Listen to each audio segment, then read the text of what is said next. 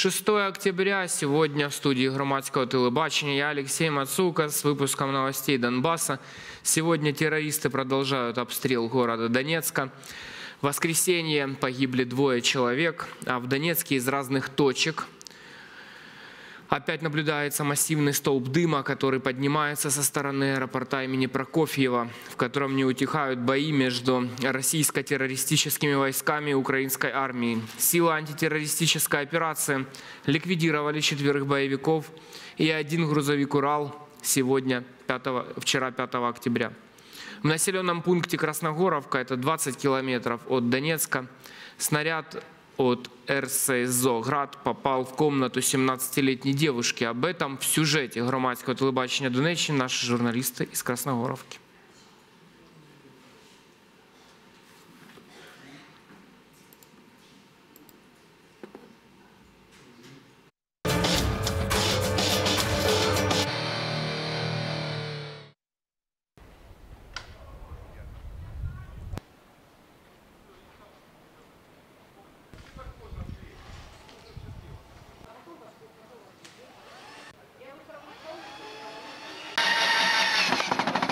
Красногоровки пошли выстрелы, это была полная провокация. А потом пошло, пошел ответ, вот, пожалуйста. То есть стреляли отсюда? Стреляли отсюда во сто процентов, потому что я всегда, когда начинают отсюда бить, выхожу курить на улицу. Я вышла курить на улицу, меня волной занесло в подъезд. Это был ответный удар. Били с Красногоровки, били украинская армия. Все, что я могу сказать, больше ничего. Не понимаю, били по дому или били туда? Били с Красногоровки, вот в сторону Абакумова. Оттуда сюда пришел ответ. И все. Пусть они отсюда уйдут и освободят наш завод. И не, будут, не будет их на заводе, тогда не будет э, страдать город. Пусть они вообще отсюда уйдут. Был же какой-то договор, что они должны уйти куда-то, там на 15 километров, я не знаю. А они, наоборот, пошли в город. Нехай они в поля уходят. Пусть Нехай уходят в поля и полях там и воюют. стреляют. А они пришли в город. То есть снаряд оттуда летел, да, получается? Или что это было? Непонятно. Откуда И то, что это был ответ на выстрел из Красногора. Он, он, получается, на вылет прошел крышу, вот здесь валялся, вон там, в стороне. А кто-то пострадал? Если честно, по очень такой сумасшедшей случайности никто не пострадал, потому что ну, это было в 5 утра, люди еще в это время спали. И получается так, он пошел по касательной, по, по крыше, и получается не пробил по случайности крышу. Если бы пробил бы крышу, здесь бы были бы трупы 100%. Минимум 4 человека. Это я вам говорю сразу. Жители квартиры. жители квартиры, которые здесь спали. Постоянно с Красногоровки стреляют по Донецку. Постоянно, каждый день стреляют. С, Ура- с, града постоянно, с пушек стреляют по Донецку каждый день. Я не могу сказать, откуда это прилетело. Я не хочу никого сейчас обвинять и утверждать. Но вот что случилось. Вы пойдите посмотрите, что там с нашим городом в начале. Вон там вот. Поедем там тоже посмотрим. Там просто разрушили дом, ну, город разрушили. Кто будет восстанавливать? У нас что здесь? Супер кто-то зарабатывает или залимоненные здесь какие-то. Есть обычные граждане, которые живут. Кто дал команду стрелять по жилому сектору? Это преступление, за которое должны нести ответственность персональные люди. Или думать, не знаю, кто-то стреляет. Все прекрасно знают и дают команды. Все на всем наплевать. Просто наплевать. Вот и все. Снимите, пожалуйста. Вот потолок, да. Угол, который вылетел, вот этот. Ну, то есть по касательной прошел Да, и да. Упал потом там. сейчас поднимемся на крышу. Здесь находился ребенок. в этой комнате. Да. да. Но он не Он вышел в туалет случайно, да. Возвращалась обратно взрывной волной в коридор. Ребенка бросила, упал ребенок.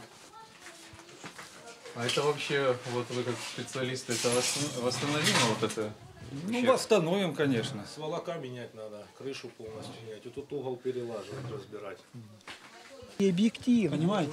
Чтобы это было все понятно. Это по всему городу. Это по всему городу. Понимаете? Это все, по всему, это все по всему городу. Сейчас пойдете посмотрите. Вот ве- весь город проедьте от начала до конца, здесь все в руинах. Я не хочу никого сейчас обвинять, ни Украину, это не ДНР сделала. Это не Донец сделал. Понимаете? Они не бьют по своим жителям. Там все наши красногоровки вот на Абакумова, они не будут по своим домам стрелять. Псы, блядь, украинские. Если в туалет не пошла, Все. Она вот тут стояла и волной снесла. Расскажите, как все было там. Э, Было первый взрыв градом было два раза нас э, ударили. Первый раз было без 15 6 э, градом нас пронесло. Второй раз буквально через минуту э, нас ударили и последний взрыв, когда был, э, попала э, крышу за- задела и мою комнату. Э, Мы толком не поняли, как это вообще произошло, но я когда зашла, я вышла с комнаты, потом опять я зашла. Я когда заходила, меня волной вот так выбросило просто. И я упала, я не поняла вообще, как это произошло. Вот. Э, Было везде гарево, э, дым. Ну, мы еле выбрались, честно. Э, Я чудом осталась жива. Даже ни осколком, ничем меня не поранило. Вот. Вообще в городе есть власть какая-то? В городе есть власть, якобы сейчас есть ис- исполняющий обязанности мэра, а так, по большому Ну, счету... по факту есть. Вот, вот у вас произошел инцидент, кто-то при- приезжал, чиновник? Да, приехали, с, э, получается, с горсовета посмотрели, приехали наблюдатели от ОБСЕ посмотрели, ну, один российский, второй, я так понял, украинский приехал. И все. Сейчас все люди бедные. Сейчас у нас...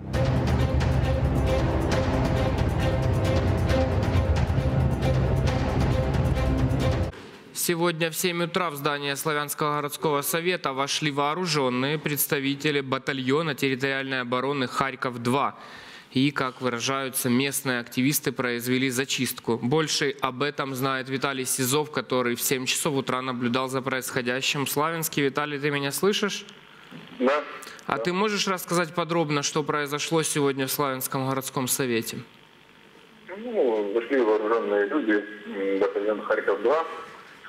А, Местные активисты там под м, горсоветом, у них там такой маленький свой импровизированный Майдан, там несколько мусорных баков, и по крышах стоит, они добиваются, чтобы их ввели в состав руководства города, то есть они хотят э, должность первого заместителя городского головы и одного из заместителей городского головы, чтобы как-то влиять, контролировать власть, как они заявляют.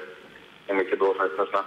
А, Бывший секретарь, ну, даже действующий секретарь городского совета господин Придворов, он сейчас выполняет обязанности мэра, потому что городской голова Неля как мы знаем, задержана по обвинению в сепаратизме и находится в следственном изоляторе Харькова. Вот пока ее нет, исполняет обязанности Придворов. Он на их требования удовлетворить отказывается, и поэтому вот они хотят провести что-то типа мусорной иллюстрации. И утром зашел Киев-2, ой, не Киев, э, Харьков, Харьков-2, он батальон Харьков-2, и якобы для наведения порядка, чтобы убрать вот эти все баки мусорные и прочее.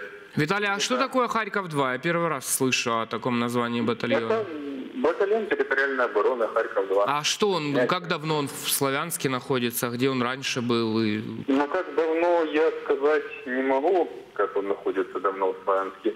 Местные жители говорят, что, в принципе, он был до этого в Славянске, но как-то активно его заметно не было. Больше заметен батальон Сич, а, батальон Киев-1, Киев-2, да, а Харьков-2.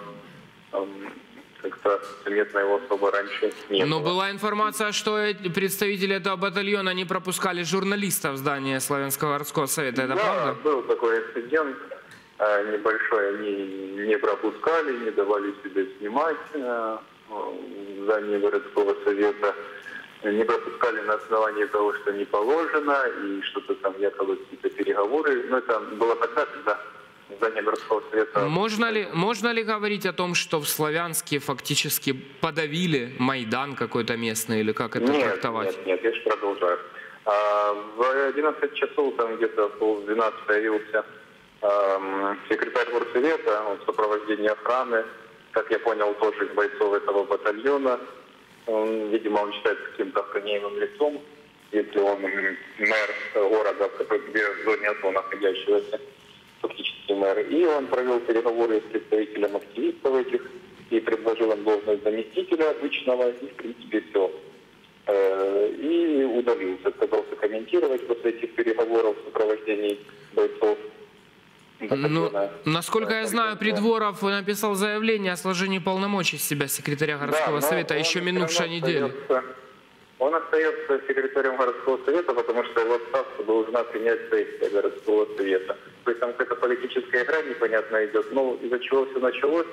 Из-за того, что первым заместителем э, поднимали кандидатуру, э, которую ну, хотели назначить первым заместителем городского главы, э, Валерия Радченко. Это бывший начальник МВД Крыма. И вот э, фактически, как э, люди говорят, что э, ну, те, которые являются активистами, что этот человек, э, грубо говоря, ну, это лексику повторяю, сдал Крым, сдаст и Славянск, и они, их это не устраивает. И их вообще не устраивает то, что их отстранили от принятия решений. Естественно, что большинство в горсовете оставаться в партии регионов, и оно хоть и, и потеряло какую-то форма- формальную связь, но неформальная связь работает, и вот э, э, активисты хотят как-то это расколоть. Но как-то все похоже на то, что Придворов привел э, свою охрану в здание Ну, Славянского на то, городского да, Там был совета. один из помощников ми- министра внутренних дел. Я сейчас фамилию не назову, позже буду посмотреть видео, он там представлялся. И, и, ну, как говорят местные активисты, что бойцы батальона охраняют и нескольких людей, депутатов от партии регионов. И, ну, какая-то такая политическая игра, получается, борьба за должности в городском совете. Э, Хорошо. какое-то. Спасибо, Ну, Виталий. меня Смущает то, что этот Придворов, господин секретарь Госсовета, он тоже из партии регионов. Ну, естественно, у них возникают вопросы, почему, что вообще было ли в стране, был ли Майдан, была ли антитеррористическая операция. Ну, как и везде, люди возмущены тем, что не наказан, по сути, ни один сепаратист. И что мы видим по городу Славянску, мы видим только арест мэра, который, ну, плюс-минус, да, может, где-то виноват, где-то не виноват. Мог Это Неля Штепа имеется в виду. да. Ситуа- Ну, как это люди видят? Ситуация спорная, но дело в том, а где задержанные начальники там, СБУ или начальники МВД, ну, по некоторой информации, некоторые сотрудники СБУ даже сейчас находятся в Донецке и воюют на стороне сепаратистов Славянска, как и сотрудники милиции, потому что треть сотрудников милиции не смогли найти после того, ну, для освобождения города. И у людей возникает вопрос, а кто вообще наказан? То есть э, нашли штепу, которая, у которой там не было ни милиции, ни власти никакой, ну, м, каких-то силовых рычагов. А где те люди, которые там слили город, э, депутаты партии регионов тоже. Где же сын Азарова, Алексей Азаров, до сих пор это неизвестно. Хорошо, спасибо, Виталий, за информацию. Это был Виталий Сизов, журналист наш из города Славянска. Я напомню, сегодня в 7 часов утра там появились бойцы батальона э, Харьков-2 и произвели зачистку периметра здания городского совета, вокруг которого находились активисты, находились мусорные баки, и люди, активисты требовали не допустить возвращения партии регионов на руководящие должности в Славянский городской совет. Тем временем в Краматорске, и у нас есть видео из Славянска, можно посмотреть, что там происходило.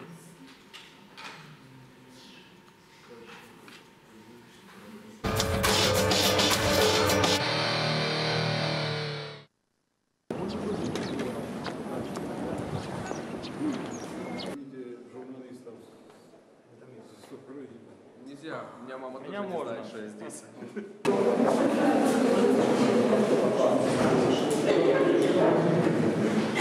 Охрана общественного порядка.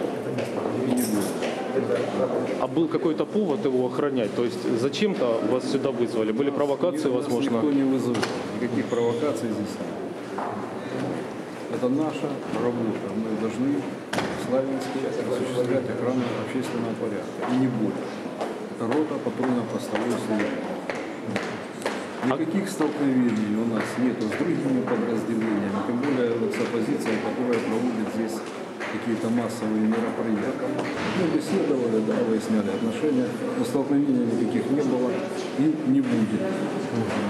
А вы здесь по просьбе городской власти или вы просто исполняете свои обязанности? Мы исполняем свои обязанности, находимся на территории Славянска по указанию министра внутренних. Представьтесь, пожалуйста. Лукарев Игорь Владимирович, полковник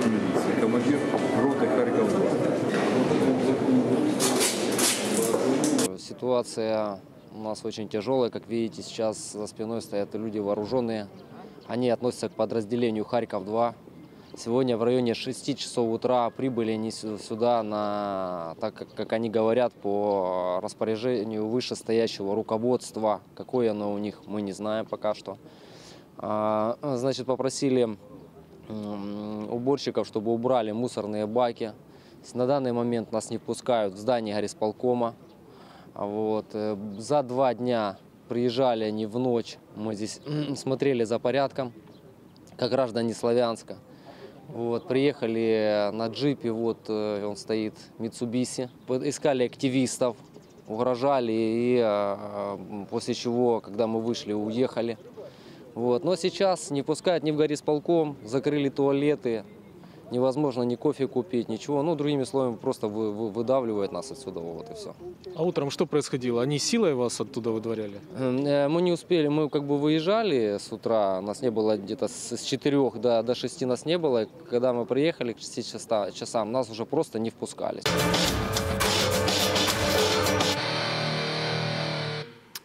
Еще один инцидент сегодня произошел в городе Краматорске.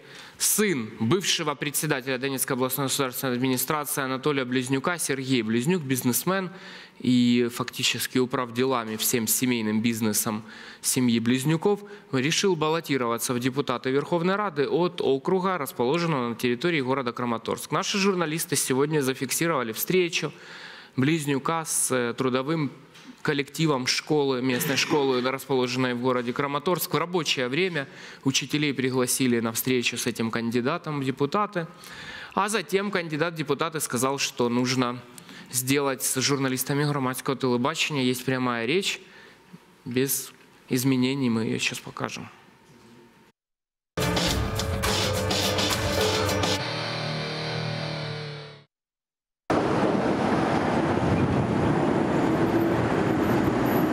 Хотів би завтра вас запросити в студію до нас. Ну, дорога. Вы уже пришли. Вот я даже не знаю, что я, вы остались уже в конце. Уважать надо.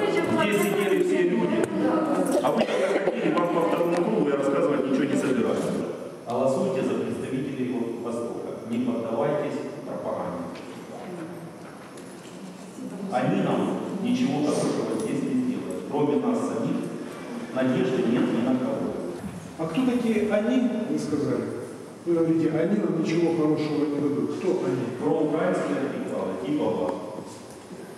Мы с вами не знакомы. Вот Я с вами не хочу дискуссию вступать. И идти по вашему пути для вашего там, какого-то общественного телевидения. Еще вопрос. Э, Я считаю, что для избранника народа самое главное это все-таки быть честным человеком. Правильно? Вы разделяете точку зрения? Я вам не даю не даю. А? Я вам не собираюсь не давать никакого интервью. Российский представитель, да? Вот вы говорите, если вас устраивают украинские взгляды, а у вас какие? Пророссийские? У меня... Да. Что такое проукраинские Я спросил, кто такие они? Вы говорите, проукраинские националисты.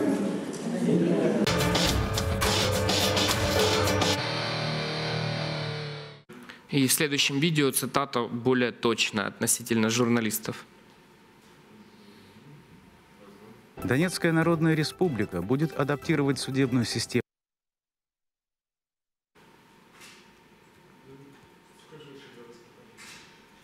Да, видео готово.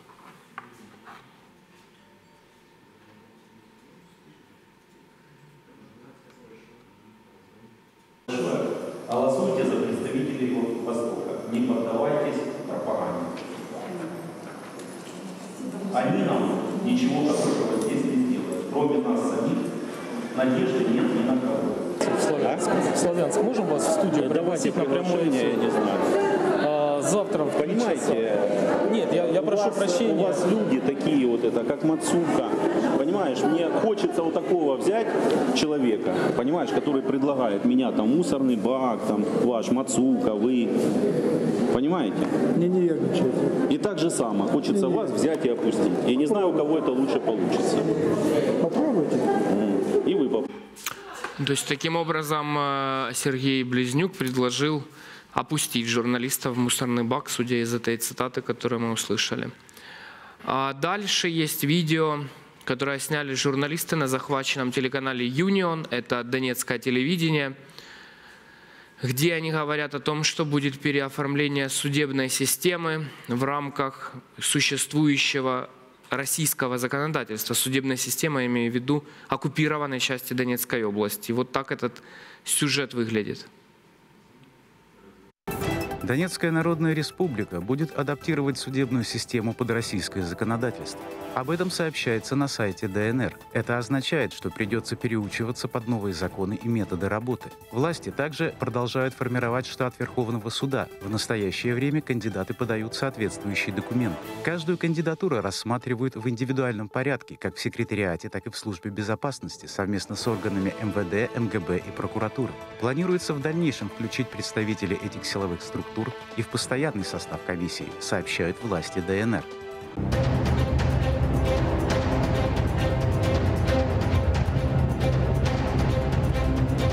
Один из лидеров вооруженных сепаратистов Андрей Пургин заявил, что выборы, скорее всего, так называемые выборы Верховного Совета общественной организации ДНР состоятся не 2 ноября, а 7 ноября. Якобы это связано с тем, что не готовы избирательные комиссии и участки. Я напомню, что 7 ноября для многих террористов и их сторонников является святым днем. Это День Октябрьской революции, советский праздник. В Донецке неизвестные вооруженные лица тем временем, пока готовятся выборы, э, ДНР украли начальника исправительной колонии номер 82 с места его проживания. Об этом сообщала пресс-служба милиции в Донецкой области. Служба безопасности Украины задержала в Краматорске Донецкой области еще двух участников вооруженной бандгруппировки террориста, самопровозглашенной ДНР по прозвищу Бабай. Это он сейчас на видео. А, как сообщили в пресс-службе СБУ, установлено, что один из задержанных 26-летний П по кличке Совхоз принимал участие в строительстве и укреплении блокпостов террористов в Краматорске и отвечал за хозяйственное обеспечение бандформирования. 57% опрошенных Украинским центром экономических э, и политических исследований имени Александра Разумкова считают ситуацию на Донбассе войной с Россией.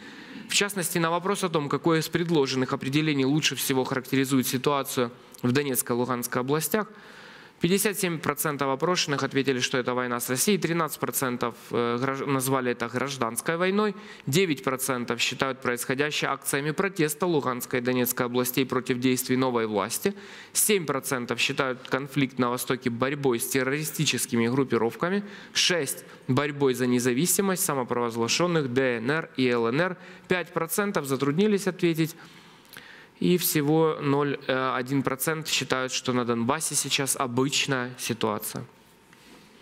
И напоследок видео снят Донецким областным комитетом избирателей Украины о том, как проголосовать вынужденным переселенцам из Донецкой и Луганской областей, а также из Автономной Республики Крым на тех участках, которые будут наиболее близкими в день голосования от этих людей. На этом выпуск новости Донбасса завершают. До завтра, до 19. За офіційною статистикою в Україні 350 тисяч переселенців з Донбасу. Згідно з законом, виборці можуть тимчасово змінити місце голосування без зміни виборчої адреси. Для цього треба прийти у відділ ведення державного реєстру виборців. Обов'язково треба надати письмову заяву про зміну місця голосування. З собою треба мати паспорт громадянина України. Також обов'язково потрібні документи, які підтверджують необхідність зміни місця голосування. Наприклад, довідку з місця роботи або навчання, документи власності на житло та інші. Це потрібно зробити до 20 жовтня. Із питаннями можна звернутися на гарячу лінію Донецького комітету виборців України.